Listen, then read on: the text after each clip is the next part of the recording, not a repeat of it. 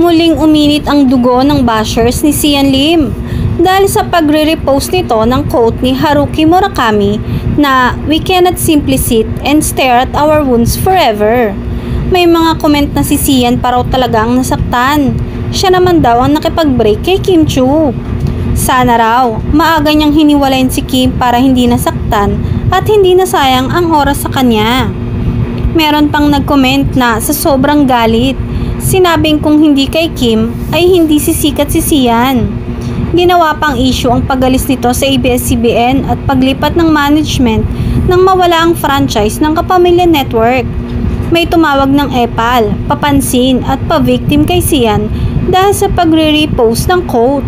May nangaasar pa nga at sinabing mas gwapo, mas sikat at mas magaling umarte sa kanya si Paolo Avellino na nalilink ngayon kay Kim. May nakausap din na wag na niyang balikan pa si Kim dahil masaya na ito sa piling ni Paolo at mas gumanda raw ang karir ni Kim na wala siya sa buhay nito. For sure, babakbakan na naman ng loyal fans ni Sian ang mga basher niya. Mukhang busy rin si Sian hindi lang sa pag-arte, kundi pati na rin sa pagiging direktor. Hindi lang pelikulang dinidirect ni Sian dahil siya rin ang direktor ng Misfits video ni Piolo Pascual para sa Search Lifestyle PH.